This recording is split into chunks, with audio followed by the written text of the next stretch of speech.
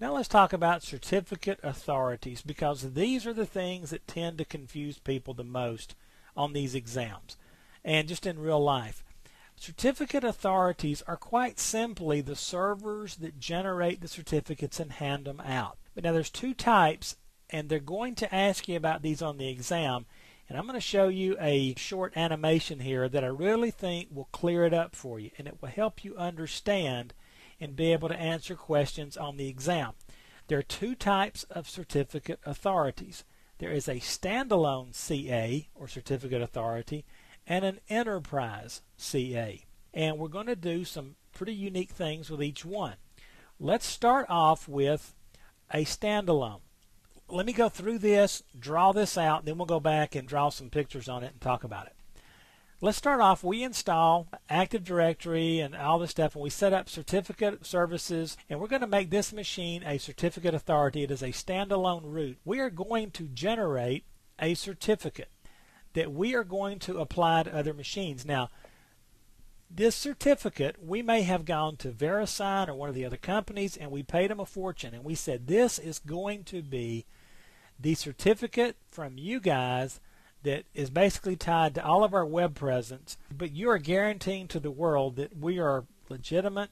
We probably pay a pretty good bit for this. That certificate is applied to that machine. Then we set up our enterprise certificate authorities. Now these machines are the ones that are going to generate certificates to all of our other users. To anybody who gets a certificate from us, they're going to come from these machines. Well, what we're going to do is, is we're going to connect these machines over the network and we are going to install this certificate right here on each of these machines. Now, any certificates that these machines hand out to anybody else, those certificates will also reference this one, which is also referencing this one. And so there's where our third party support comes from. But now we've got a problem. What if somebody comes in here and some 13 year old hacks into our servers and does something to compromise our certificates? Hacks into the certificates and causes problems. Well, at that point, our trustworthiness on the web is in trouble.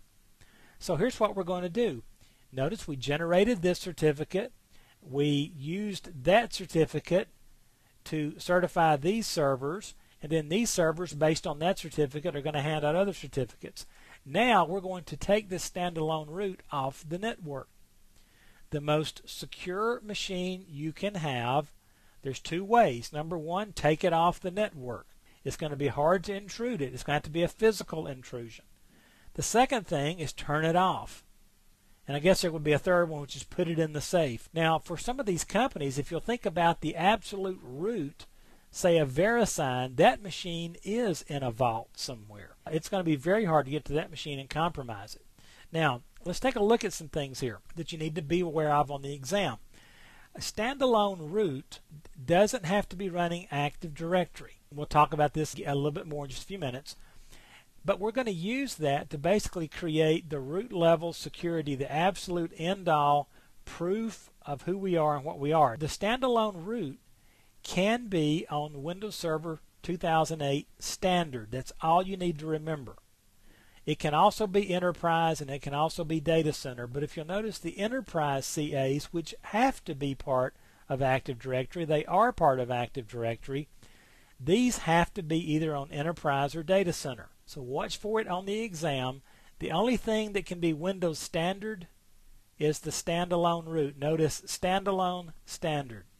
It can be enterprise or data center, but it can also be standard. Enterprise cannot be standard, okay? So watch for that on the exam. The next thing, we are going to set this absolute root certificate to expire, meaning we have to get a new one, in 20 years.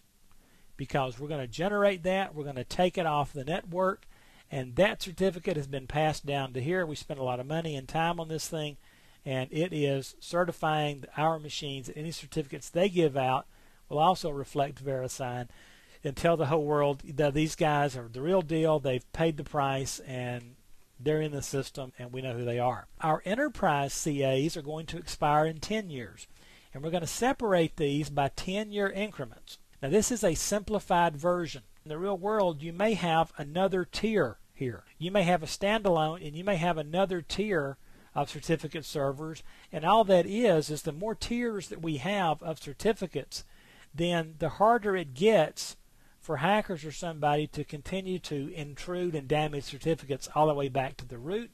It helps us load balance giving out certificates and so forth. Now, certificates are going to continue to get to be bigger and bigger and bigger in our world because we're going to start to use these things as online identities. A lot's going on right here in this one video. Now, kind of as a review and to point out some things you need to remember, a standalone CA Active Directory is not necessary. It can run on a member server or it can be in a work group.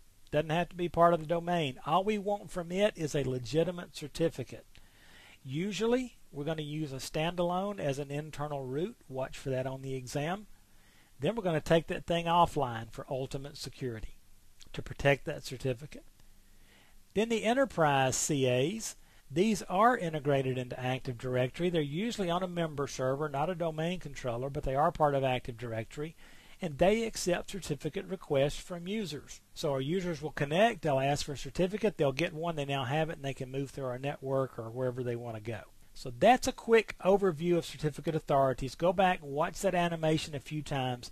Get that in your brain, and you will be able to answer a lot of the questions about certificate structures and certificate authorities and stuff on the exam, and it'll make sense in real life when you read this stuff, I hope.